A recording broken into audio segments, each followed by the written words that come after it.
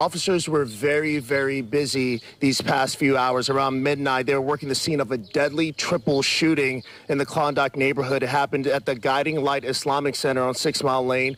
Two teenagers were found shot in the parking lot. They both were taken to the hospital. One died. The other is still listed in critical condition. Now, a short time later, a third teenager was found in St. Matthews. After he left the scene, he is expected to survive. So, black out, back out here on Glimmer Way and here in South Louisville, if you know anything that can help investigators track down who shot this woman, you're urged to call the anonymous tip line. That number is 574 LMPD. For right now, reporting live in South Louisville this morning, I'm Shaquille Lord, WLKY News.